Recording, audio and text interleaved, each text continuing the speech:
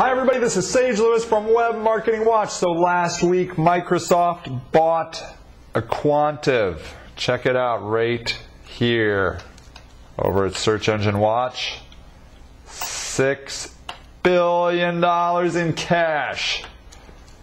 Following suit from what Google did, they bought DoubleClick for a mere 3.1 billion. They practically got a steal on the deal. So what does this mean? There's a couple things this means. Okay, these are these are ad agencies, all right? These are online ad agencies. And Microsoft was quoted as saying over here that they want to be a major player in online advertising. So the search engines are branching out beyond their medium. They are looking to be advertising mediums for you, not just search engines. It's not about the content so much as a place to put their ads. And that's what they want. So it's changing the whole landscape of how we as advertisers are working because these search engines want to control our advertisement. The other thing is that it makes me think a lot about the newspaper world. And I don't really think that the newspaper people truly, truly understand what is going on here. But they're coming. The search engines are coming to eat the newspaper lunch, man.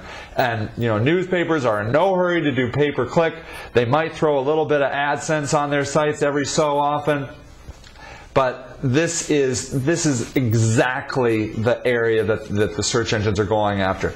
The other thing that's interesting is these acquisitions included search marketing um, companies. So the DoubleClick deal over at at Google included a company by the name of Performics, and over at, at Microsoft, they bought Aquantive included Atlas, which is, which is an ad serving tool for advertisers, um, and DRIVEpm, behaviorally targeted network media brokers, and Razorfish Avenue A, which is a a digital marketing agency that does search. And you say, well, what's the big deal about that? Well, what if those people start, the, the, the advertisers that are within um, Performics or Avenue A Razorfish start doing really well on their correlated search engine. So the Performics people start doing really well in Google, and the, the Razorfish people start doing really well in MSN there could be a conflict of interest. So, and and they have come out to say that they're in, they are not intending to spin those off. Google is going to keep Performics,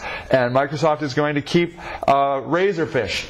So that will be interesting too. So, you know, they might just start controlling search engine optimization as well. So it's all very interesting. This industry never ceases to change. And I just want to give you this information and be aware see what's going on. You have to be a smart buyer of your advertisement. All right, everybody, this is Sage Lewis from Web Marketing Watch, and happy marketing!